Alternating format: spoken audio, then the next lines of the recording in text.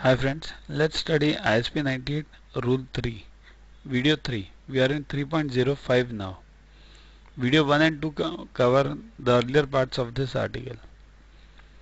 A presentation is timely made if at if it if made at any time after the issuance and before the expiry of the expiration period.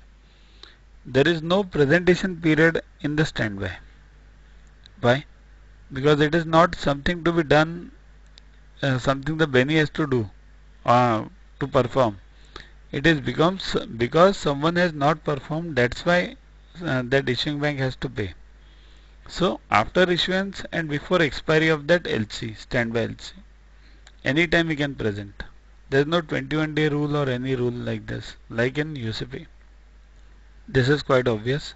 A presentation made after the close of business at a place of presentation is deemed to have been made on the next business day. Similar in UCP as well as in EUCP or URR also. Next 3.06 complying medium of presentation. To comply a document must be presented in the medium indicated in the standby. It means if the standby states the document presentation is to be made in electronically then it has to be made electronically or else in paper. B B where no medium is indicated to comply a document must be presented as a paper document. It means if no medium is stated then the document must be presented as a paper document unless a demand is only a demand is required. It means if the standby requires only a demand and no other invoice or anything then the following rules apply. Remember, only when demand is required, then following rules apply. Otherwise, it is to be submitted in paper document.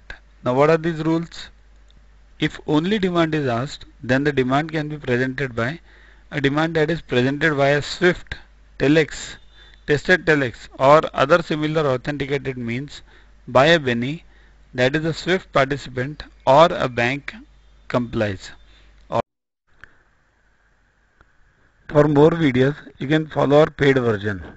For paid version, you can WhatsApp us on this number. The videos are shared with you on uh, Drive and then once you have downloaded, then you can watch them without internet.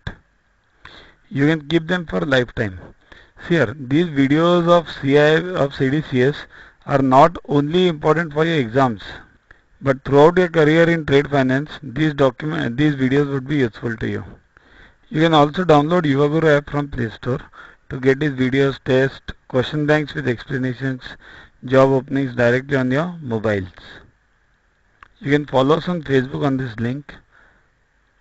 Now how many videos are there? See here ISBP is 76 videos. In fact uh, daily or monthly new updations are done. UCP 57 videos. General videos means other than all these UCP, ISP, ISBP, URR and uh, EUCP 55 videos. Then EUCP 12 videos, URR 27 videos, ISP 67 videos. Now remember one thing, all these videos cover the latest versions of all these five things. Basically five books. To be more precise, ISBP 745, UCP 600, EUCP 1.1, URR 725 and ISP 98. As and when the editions are changed, the videos are changed accordingly. So you need not worry about that. Also there are 500 plus questions with explanations and correct answers. So explanations are very important so that you understand why the answer is whatever it is given. It also includes doc check case studies similar to that of in-basket and standalone and the simulation exercises. Plus, real-time solutions are given on WhatsApp. Also, you have practice tests available on the app, so you can try that also. First thing you need to do is WhatsApp on this number to get the paid version because on this app you will be needing internet and if you take the paid version you don't need any internet. So keep studying, keep watching.